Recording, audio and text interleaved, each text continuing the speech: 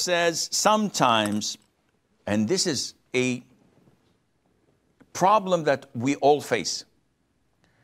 I'm a big tipper by nature, especially when I go to poor countries. I'd like to have some change and just tip everybody that says salam alaikum alaikum salam. It's, it's peanuts for me. For them, it's something. But if I find out that the tipping that I'm doing is giving me and getting me extra service, then this is uh, this becomes haram. This becomes a sort of a bribe.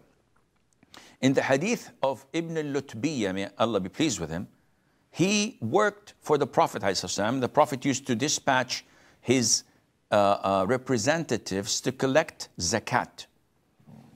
So once he sent him off, he came back and said, okay, this is your zakat, a big herd of camels, cows, and sheep. And this portion was given to me. This is mine. So the Prophet was السلام, angered by that. He was outraged.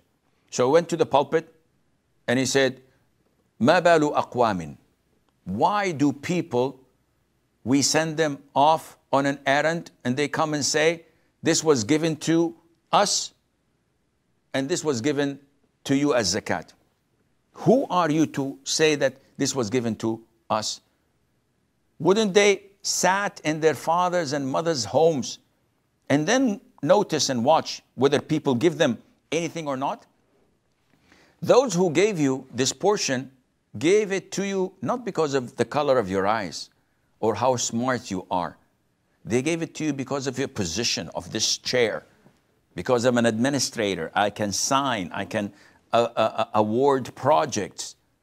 Likewise, the waiter in a fancy restaurant, when I give the waiter $20 as a tip up front so that he would book me an excellent table. All the tables are booked, but there is something special. And he would give me extra service.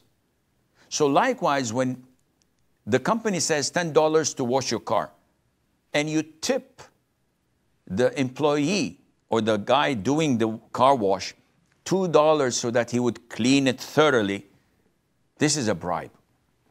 When would it be okay? If you're gonna do it a one timer. So I wash my car, he does the job, I'm about to leave, I give him $2 and never come back again to him.